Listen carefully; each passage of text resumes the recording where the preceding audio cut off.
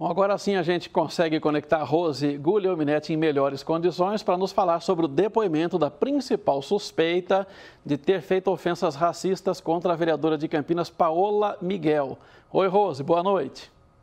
Boa noite, Sena. Boa noite a todos. A pessoa que foi identificada é, como a pessoa que xingou né, a vereadora na última sessão do dia 8 de novembro, estava marcado o depoimento dela para a tarde de hoje mas ela decidiu antecipar, ela esteve na delegacia na manhã de hoje para poder depor e Sena, ela me procurou essa pessoa e ela negou que tenha dito a frase preta lixo. Segundo ela, ela disse peta lixo porque ela é defensora, ela e o grupo dela é defensor daquela da instalação da escola cívico-militar que aconteceu em 2020, a proposta aqui em Campinas, mas que acabou não se viabilizando por conta da oposição. E o vereador Gustavo Peta, como presidente da, da Comissão de Educação de Campinas, brigou contra é, a instalação. Ele não queria a instalação dessa escola. Então, segundo ela, toda vez que eles veem o PETA, eles acabam xingando o PETA. Então ela nega que tenha feito ou dito essa frase racista. E ela falou que ela está sofrendo uma injustiça, já que ela não é racista, portanto, ela negou isso numa entrevista para mim.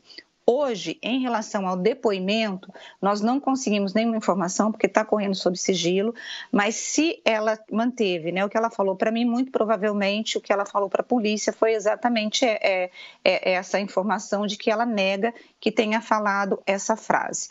Além disso, Sena, o, hoje os vereadores acabaram apresentando, os vereadores não, três pessoas, o presidente do PT, a ex-vereadora Marcela Moreira do PSOL e a vice-presidente do PCdoB, a Denise Tregeiro, apresentaram um pedido de comissão processante contra o vereador Nelson Ozzi, que pode, se, se aprovado pela Câmara, e a tendência é ser aprovado, porque o vereador, nesta mesma sessão, teria tentado agredir o Gustavo Peta. Se for instalado e se ele for culpado de, do, do, ato, né, de, de a, desse ato de agressão, ele pode ter um mandato cassado. Sena.